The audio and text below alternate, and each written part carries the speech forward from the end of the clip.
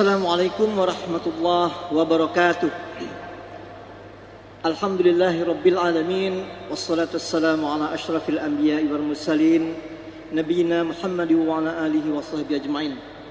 اللهم صل وسلم وبارك على سيدنا محمد وعلى آله وأصحابه وذريته وقرابته أجمعين. قال الله سبحانه وتعالى في القرآن الكريم أعوذ بالله من الشيطان الرجيم. wailul lil mutaffifin alladzina idza talu nasi yastawfun wa idza kaluhum aw yuhsirun. Sadaqallahul aliyul azim. Amma ba'd hadirin hadirat jamaah kuliah zuhur Masjid Raya Mujahidin rahimakumullah. Para pendengar Mujahidin FM di mana pun berada baik yang di rumah maupun di tempat bekerja maupun di kendaraan masing-masing bersyukur kita kepada Allah Subhanahu wa taala atas nikmat dan karunia-Nya kita bisa sama-sama baik yang hadir di majelis ini maupun yang berada di mana pun yang bisa mendengar dan melihat atau memirsa acara kuliah zuhur atau tausiah singkat zuhur ini mendapatkan rahmat dan maghfirah dari Allah Subhanahu wa taala insyaallah. Baik para jemaah sekalian, mungkin kita pernah ataupun ya melihat ya, keadaan atau kondisi di mana pada saat kita masih kecil atau masih remaja ada hal-hal yang mungkin yang mungkin bagi kita hanya itu bagian daripada tanda kutip kenakalan remaja, kenakalan anak-anak muda, anak-anak kecil. Di rumah misalnya ada di antara anak-anak kita. Si ibu telah menggoreng ayam beberapa potong misalnya ada pahanya, ada dadanya, ada kepala, kaki dan sebagainya di atas meja. Nah dari antara anak-anak itu ada satu yang agak nakal nih. Nah yang pahanya itu, yang paha dia simpan ditapukkan bahasa kita, ditapukkannya ke tempat lain. Nah, tahu yang tahu bahwa itu sudah nah, waktu makan ya dapatlah masing-masing jatahnya. Nah itu ada satu perbuatan yang namanya dalam bahasa kita apa ya napuk-napukkan ataupun ya semacam bukan mencuri karena itu kan halal karena itu adalah keluarga yang menyediakan itu. Nakal karena dia apa namanya agak greedy ada agak apa namanya agak uh, suka ngambil suka lebih mau lebih banyak gitu, dari yang lain. Mungkin bahasa kita menipu atau apa ya? Cheating, cheating kata kata orang barat cheating. Ada lagi mungkin anak-anak sekolah, anak-anak remaja di kantin beli makanan, makan makan makan empat potong, dia bayar mungkin berapa? Bayar tiga misalnya. Nah satu dia cheating. Nah ini mungkin terjadi di antara kita. Waktu itu seolah-olah tidak tidak ada merasa berdosa. Gitu. Namun sebenarnya prinsip-prinsip seperti ini hendaklah dari kecil sudah kita biasakan kepada anak kita jangan sampai hal-hal yang namanya cheating, menipu ataupun mengambil yang bukan haknya itu adalah sesuatu yang haram yang dilarang oleh Allah Subhanahu wa taala. Dan ini akan berkembang.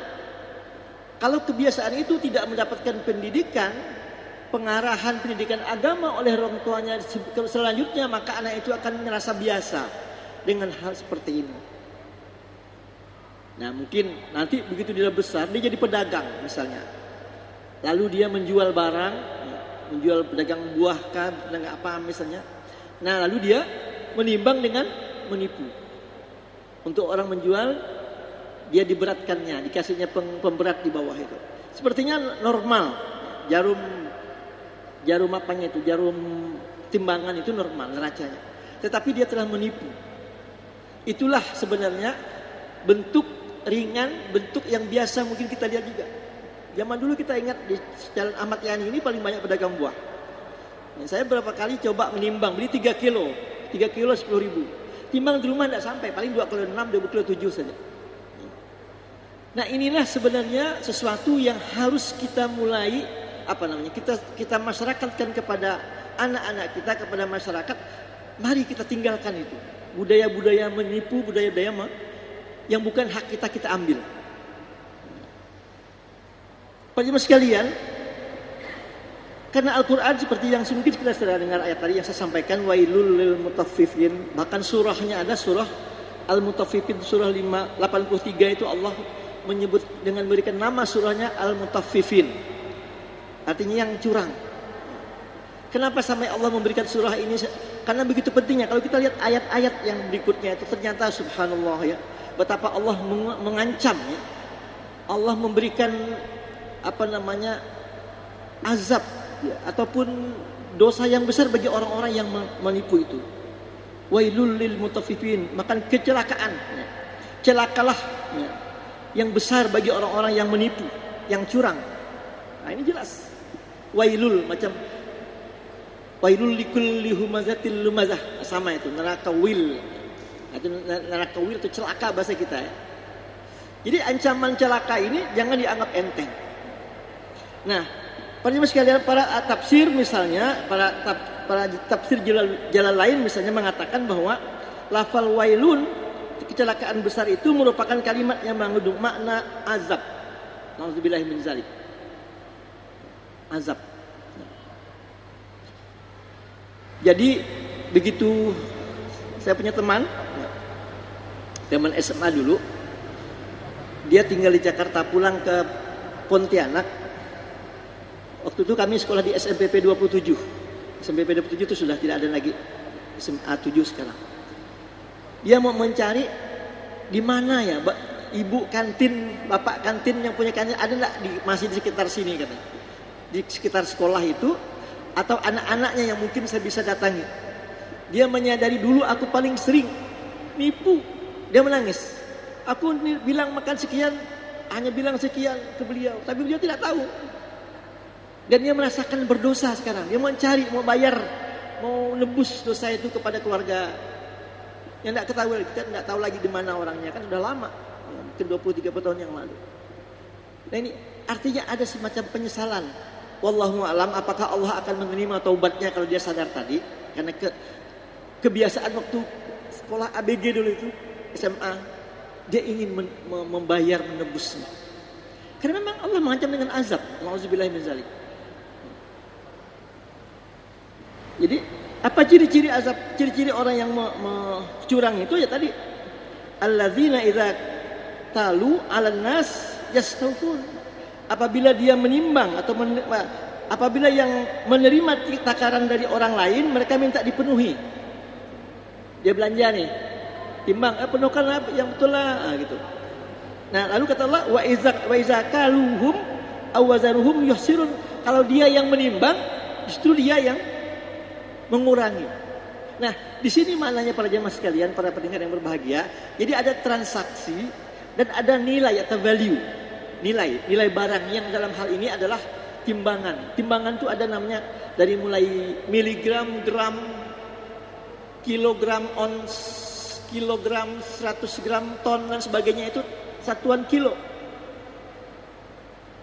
Bayangkan kalau hanya gram mungkin ya kita masih tapi andaikan kita yang ditipu, yang menipu adalah dalam bentuk tonnya. Saking ya partai besar yang namanya mana kita tahu mengukurnya dalam jumlah ton dikurangi. Wah, itu banyak sekali barangnya. Nah, inilah yang dilarang oleh Allah yang dikutuk oleh Allah dengan azab orang-orang yang seperti ini. Nah, Pak sekalian, apa saja bentuk bukan hanya itu. Itu salah satu gambaran ciri-ciri daripada penipu itu adalah untuk dia ingin banyak, tapi untuk lain dia kurangi, orang lain kurangi. Nah, ini bisa dalam hal perdagangan, dalam hal misalnya rapat nih. Rapat misalnya ada honornya apa gitu ya. Dia mulailah mengatur nih di, di kampus, di kantor ya. Nah, berapa honornya itu nanti yang lain-lain itu ditipu, ya, diambilnya uang itu tanda tangan palsu, itu curang namanya. Dia ambil uang yang bukan haknya. Nah orang lain tidak dikasihnya. Padahal orang itu ada mungkin namanya. Nah ini banyak. Apalagi yang namanya pakai hitung-hitungan seperti ya di kita ini kan dari pemilihan kepala desa, uh, uh, pilkada, pilbub, pil GUP sampai pilpres itu kan namanya hitung-hitungan suara. Itu bisa dilakukan kecurangan-kecurangan. Seandainya orang tahu bagaimana beratnya siksaannya itu, maka mari kita lihat ayat berikutnya. Ya. Allah menyebutkan ayat berikutnya adalah kepada orang-orang yang ayat berikutnya ayat 4 ala yazunnu ulaika annahum mab'usun tidakkah orang-orang itu mengaku menyangka bahwa sesungguhnya mereka akan dibangkitkan orang-orang yang curang tadi dia tidak tahu tidak tidak ingat atau tidak sadar bahwa mereka akan dibangkitkan dan akan diperhitungkan oleh Allah Subhanahu wa taala kecurangan-kecurangan itu. Nah, ini hati-hati kita. Lalu ayat berikutnya adalah Allah mengatakan liyaumin azim di mana hari itu hari yang sangat besar. Besar yang sangat apa namanya? Sangat eh, menggugah, sangat menakutkan. Nah, si curang tadi mulai gelisah, mulailah dia sampai berkeringatlah. Dalam ayat itu yaitu hari ketika manusia berdiri menghadap Tuhan semesta alam hari itu mereka semuanya merasa takut. Al-Mutaffifin ayat 6-nya grogi, gemetar. Ayat ini Allah sebutkan dalam ayat Al-Mutaffifin. Lalu Yauma yaqumun nasu li rabbil alamin hatta yaghitha ahaduhum fi rashatin ila ansafu adhani. Kata Rasulullah, hari ketika manusia berdiri menghadap Tuhan semesta alam sampai-sampai ada salah satu eh, sampai ada tersolong salah seorang dari mereka yang tenggelam dalam peluhnya atau keringatnya hingga air peluh itu sampai ke pertengahan kedua kupingnya, telinganya. Jadi diceritakan sampai tenggelam di keringat kita. Sampai kuping waktu itu. Ada orang yang saking takutnya, saking groginya dengan menghadapi hari yang besar. Terutama pada para culas para orang-orang yang curang seperti itu. Nah inilah yang yang Rasulullah me, me, mengingatkan kepada kita, hati-hatilah dengan rezeki kita. Kalau itu tadi kan, bayangkan hanya sekadar untuk makan lebih, membeli tiga biji, empat biji kita bilang tiga, kan selisihnya satu biji berapa ribu sih? Mungkin waktu itu rupiah. Kok tega-teganya kita menipu orang? Padahal si penjual itu mungkin susah payah untuk mendapatkan untung dari penjualan itu. Bahkan mungkin yang dijualnya itu bukan barang dia, orang nitip dia, dia hanya dapat margin sedikit, 20% dari kita tipu, kita ambil, bayangkan rugi. Nah, kalau kita mengingat itu, kalau kita tahu kondisi seperti itu, tentu kita tidak akan curang. Tapi itu tadi, karena mungkin selama ini di rumah, di sekolah, atau dia tidak diajarkan etika-etika seperti oleh keluarganya, ya, saya yakin, nah itu mungkin ya ada faktor pendidikan tadi dari dari kebiasaan orang rumah, maka anak itu mungkin terbawa dan biasanya sifat seperti itu terbawa sampai ke tua, sampai dia mendapatkan bertaubat, kesadaran tadi. Maka saya teman saya itu seumur saya di Jakarta sampai nyari-nyari di mana nih orang. Dia bertobat ingin minta ampun kepada Allah untuk membayar apa namanya yang dia cheating, yang dia tipu dulu orang-orang di kantin itu. Nah mungkin Bapak Ibu sekalian, seandainya seandainya di antara kita, ya para jamaah sekalian, para pendengar yang ada di mana pun berada di yang dapat mendengar siaran ini, ada mungkin kita ingat-ingatlah, ada tidak kira-kira yang kita menipu orang, ada tangi dia. Apakah menukar sendal? Ya, itu cheating juga. Sendal yang bagus kita ambil, sendal yang jelek kita tinggalkan, itu juga menipu. Atau buku yang baru kita ambil yang tukar yang sama, mungkin sedikit kelas barang yang sama, kita tukar. Itu nama cheating, kita minta ampun, minta maaf, datangi saudara-saudara kita itu. Atau mungkin waktu dulu kita di mana misalnya ngambil barang orang, kita belanja nih ke barang tanpa diketahui olah oleh si penjual itu kita ngambil sedikit tahap barangnya. Kata Mama Dedeh, kalau kita ada transaksi membeli bayar membayar barang, kita ambil haram katanya itu, minta sedikit tidak boleh. Kita udah membeli kok, mintanya ke maksa, orang kan tidak akan mungkin menolak seperti itu. Itu juga tidak boleh di dalam hal transaksi perdagangan. Karena ini adalah nilai, nilai jual beli. Ada akad, ada yang menerima dan ada yang uh, yang memberi, memberikan. Nah, percaya sekalian, sekali lagi mari ini adalah karena topiknya singkat, waktunya singkat. Makna ayat tadi Al-mutaffifin digambarkan sebagai timbangan tetapi bukan hanya sekedar itu. Banyak hal-hal lain yang mungkin dapat menjadi sebab terjadinya kecurangan-kecurangan di dalam kehidupan kita. Baik itu kecurangan di rumah tangga kita, di antara keluarga kita, di antara saudara kita, dan di antara satu apa namanya kolega kita dalam di, di tempat pekerjaan kita misalnya dan sebagainya, maka marilah kita mulai hari hati-hati untuk kita dan untuk keluarga kita dan untuk teman-teman kita semua kita ingatkan, jangan curang, jangan kita mengurangi takaran, jangan kita mengambil hak orang lain yang bukan hak kita. Nanti kita akan berhadapan di hadapan Allah mempertanggungjawabkannya. Tidak ada lagi yang bisa menolong kita kecuali hanya Allah. Kalau Allah ampuni, Allah menerima taubat kita.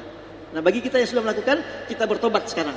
Bertobat kepada Allah, ampuni dosa-dosa kami. Apabila kami pada saat hidup kami sebelum ini ya, terdapat yang kecurangan atau mencuri atau mengambil hak orang lain, tolonglah ampuni dosa kami. Syukur-syukur masih bisa mendatangi orang-orang yang kita curangi itu dan kita minta ampun dan minta maaf langsung kepada yang bersangkutan. Insya Allah mudah-mudahan dengan itulah kita menjadi orang-orang yang berhati-hati di dalam kehidupan kita. Insya Allah kalau kita hati-hati kita adalah termasuk orang-orang yang bertakwa. Kata Umar bin Khattab, orang bertakwa itu adalah orang-orang yang berhati-hati di berjalan dengan pakaian yang bagus di tengah tempat yang ada onak dan duri dan dia tidak kena onak dan duri. Nah, itu hati-hati. Bayangkan harus hati-hati. Mudah-mudahan kita menjadi golongan orang-orang tersebut.